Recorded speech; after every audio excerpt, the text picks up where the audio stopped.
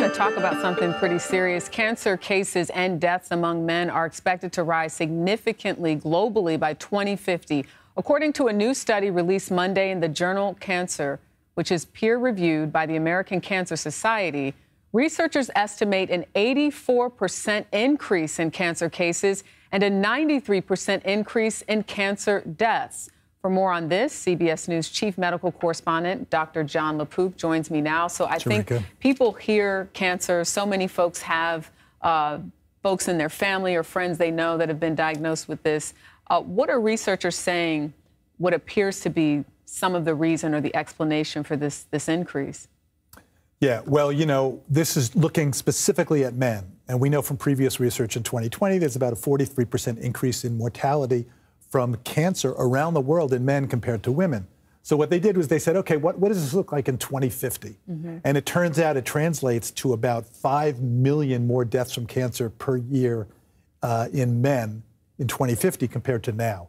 And you know, you look at asking about reasons. Why would that be? Probably it's, it's complicated. We know that for sure. Mm-hmm. There's not just one type of cancer, but in differences in risk factor. I mean, around the world, smoking is a lot more common in men than women. Same thing with alcohol. Both of those are risk factors for cancer.